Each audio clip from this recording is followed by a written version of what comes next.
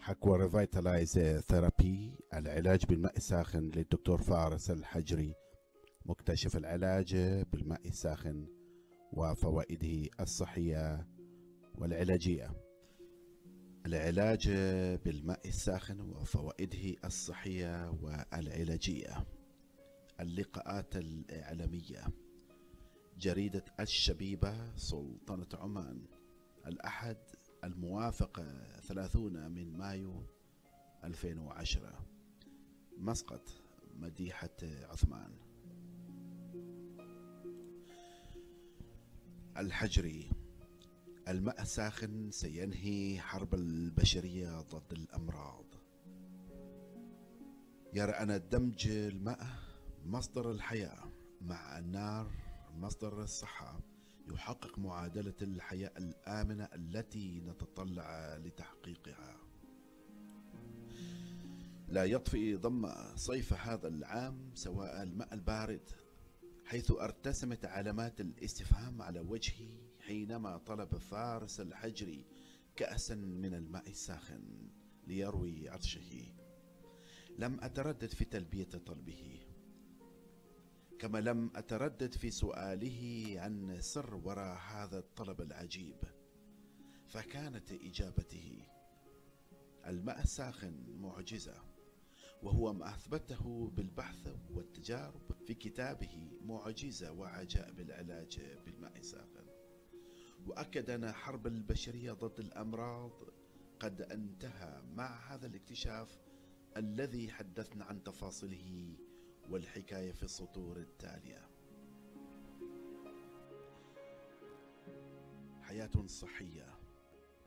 استحل حديثه وقد وضع كأس بجانبه قائلا ألهمت هذا الاكتشاف والماء معجزة وقد رجعت إلى نصوص القرآن الكريم والسنة لأستنبط منهما ما يثبت ذلك.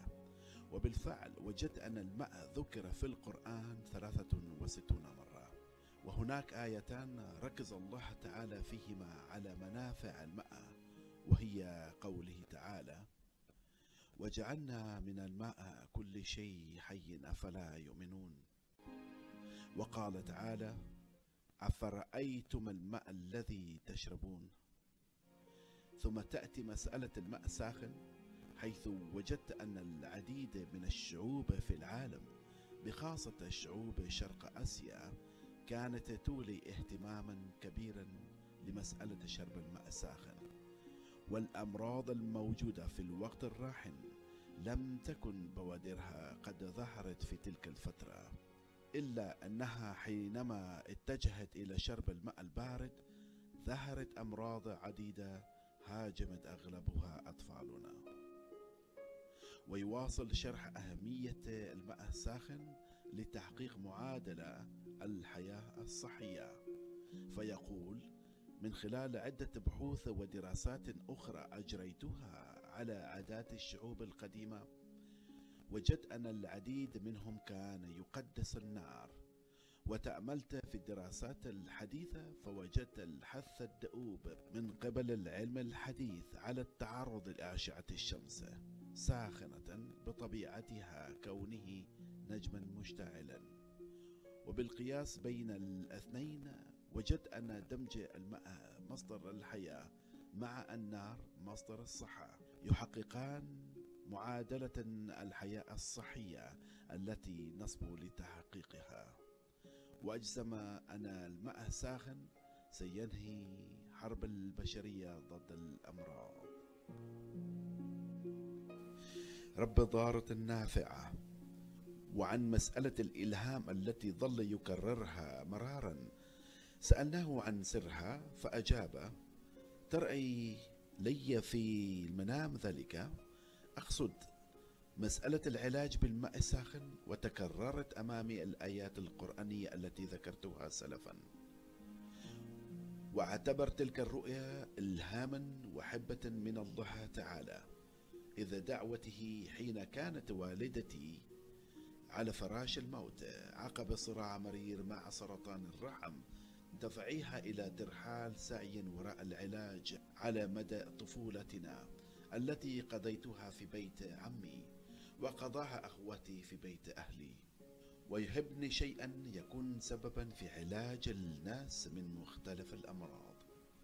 لذلك حين ترأت لي تلك الرؤيا حول الماء الساخن تيقنت أنه العلاج الذي سيكون سببا في الشفاء العديدين من الأمراض. ويضيف كنت أول من جرب العلاج بالماء الساخن حين تعرضت للأمونيا وهي مادة تصدرها أجهزة وآلات النسخة وأصبت بمرض الربو الحاد. فاقترح علي الأطباء استخدام البخاخة الذي كان يسبب لي صداعا حادا وعلاجا بديلا غالية الثمن. وخلال تلك المدة بدأت تلك الرؤيا وبدأت بشرب الماء الساخن وتعافيت تماما من المرض بشهادة طبيب مختص دون استخدام أي عقاقير طبية. ويواصل حديثه قائلا لم يتوقف الأمر عندي بل تعافت زوجتي وحماتي من الأمراض التي كانتا تعانيان منها مثل الضغط وآلام المفاصل. ومن يومها أخذت على عاتقي مسؤولية إجراء المزيد من البحوث والدراسات للتأكيد على أهمية شرب الماء الساخن وإثبات مقدرته على علاج العديد من الأمراض. وبالفعل وفقت في إثبات ذلك وذكرت تفاصيلها في الكتاب. أمراض الشفيات. وعن الأمراض التي شفيت بإذن الله بعلاج الماء الساخن بعد التجارب والأبحاث فهي كما يقول الربو والضغط الدم المرتفع وفقر الدم والصداع النصفي وآلام الظهر والحجارة في الكلية وعدوى المسالك البولية وارتفاع الكوليسترول في الدم والروماتيزم والتهاب المفاصل والسكتة الدماغية جراء الحوادث. والضعف الجنسي بالإضافة إلى التسمم الغذائي والأرق وآثار البرد من إنفلونزا وحمى كما يقضي على السمنة ويقوي الذاكرة ويعالج القرحة والحرقة والإمساك والأركنسونية وتساقط الشعر كما أثبت علاجه لسائر الأمراض الجلدية بالإضافة إلى نوع واحد من أنواع أمراض السرطان والأبحاث جارية على بقية الأنواع. وأخيرا أمراض القلب. طريقة العلاج. وحول الكمية التي ينصح بشربها فهي بحسب ما يقول الحجري يفضل أن يشرب المريض كأسا إلى كأسين من الماء الساخن فور استيقاظه من النوم. يتبعوهما بكأس إلى كأسين بعد غسل أسنانه. وقبيل تناوله وجبة الإفطار. أي ما مجموعة ثلاثة كؤوس تقريبا من الماء في الصباح. وكأس من الماء الساخن قبل 15 إلى 30 دقيقة من تناول الطعام. وأنصح بشرب كأسين إلى أربع كؤوس من الماء خلال فترة المساء. وكأس من الماء قبل الخلود إلى النوم على أن تصل كمية الماء في الكأس 240 إلى 300 ملي ودرجة حرارة تصل إلى 50 درجة مئوية. بمعنى أن تكون ساخنة بما يكفي ليشعر به وقابلا للشرب غير ساخن إلى حد يستعصر على الفرد شربه. وختاما يرد على من يشكك بمقدرة الماء الساخن على العلاج قائلا المشككون هم من أصحاب العقاقير الطبية والأعشاب التي تحتوي على نسبة من الآثار الجانبية تظهر على المريض مع مرور الأيام وما قامت حرب التشكيك ضدي إلا ليقينهم أن الماء الساخن سيصرف الكثيرين عن شراء تلك العقاقير والأعشاب.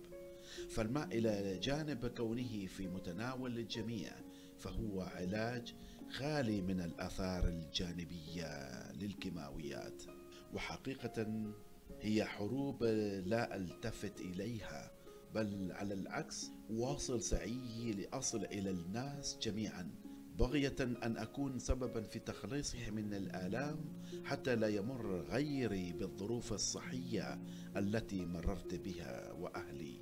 والله من وراء القصد. والسلام عليكم ورحمة الله تعالى وبركاته. يرجى التكرم بالآتي. تسجيل اشتراكك بقناة اليوتيوب الخاصة للدكتور فارس الحجري. نشرها على معارفك ليستفيدوا كذلك. تسجيل ملاحظاتك ليستفيدوا الآخرين. تسجيل تجربتك. فهناك الكثير ممن يؤمن بتجارب الآخرين. أخوكم دكتور فارس الحجري.